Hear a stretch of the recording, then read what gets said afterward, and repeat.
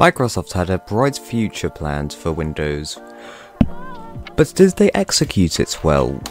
Well, obviously not. We don't have Windows phones anymore. So, was it actually all that bad, or were the general public wrong? The devices I have used are the Microsoft Surface RT, Microsoft Lumia 435, Microsoft Band 2, and this custom built desktop from the early 2010s. I've thrown the specs up on the screen along with a video of them, so you can call me slurs because I don't have the best devices.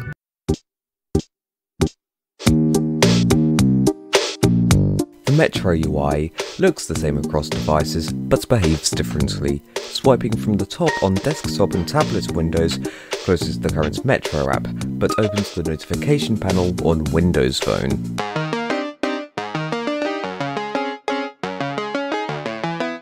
A lot of apps still support desktop Windows 8.1. Ones I use are Krita, Blender, MultiMC and Audacity. Windows RT might have had an Apple two, but I can't find any archives online, and the Microsoft Store is dead, so I only have the included apps. Windows Phone 8.1 has a bunch of archived apps, but no easy way to install them. While trying to jailbreak my phone, I managed to break it, so that's fun. I was able to fix it because I'm just too good. The Microsoft Band had third-party app support, but I was unable to test that.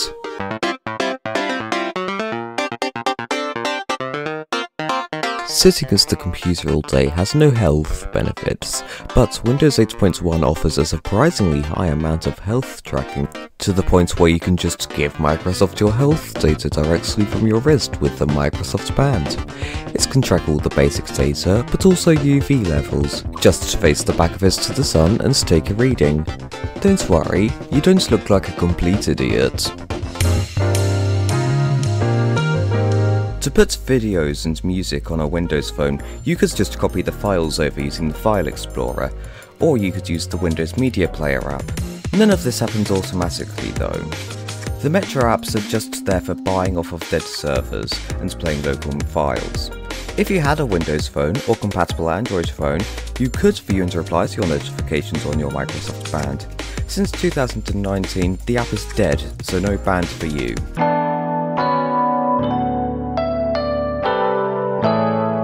Windows 8 is surprisingly usable, but there are still some issues. The Charms bar stops working sometimes. Windows Media Player didn't put the album art on my phone. Apps that rely on servers don't work because those servers are dead. I don't know how to end a video.